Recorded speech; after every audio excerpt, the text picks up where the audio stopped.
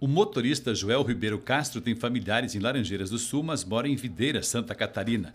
Todos os anos ele visita os parentes no Paraná. Eu volto a ver a família quando pego férias lá. Eu visito a família em Laranjeiras. Passa por Pato Branco sempre? Sempre por aqui. Tem que ter essa espera na rodoviária? Sempre aqui.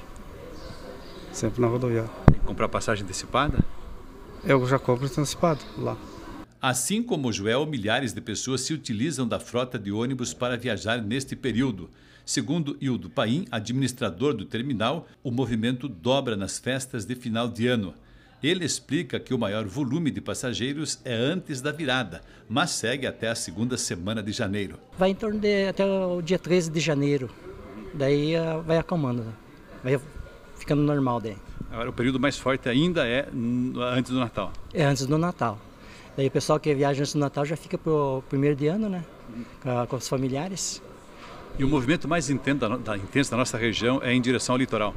De, é, o litoral de Santa Catarina, é, é, no caso da Curitiba, né? O casal Marilva Ferreira Bueno e Rudimar de Oliveira é de Chopinzinho. Ele trabalha lá no seu município com os serviços gerais. Ela trabalhava numa empresa em Pato Branco. Veio para fazer a rescisão porque tem emprego mais perto de casa. Ano novo, vida nova. Vou começar a vida nova. 2020, tudo novo. Assim como a viagem que tem que sair de um lugar para o outro, vai, vai, ser a vida. é, isso. Melhor? Melhor. Outro trabalho? Outro trabalho. E vai ficar mais perto do meu filho, né? pai ajuda um pouco, mas a mãe é mais no filho, hein?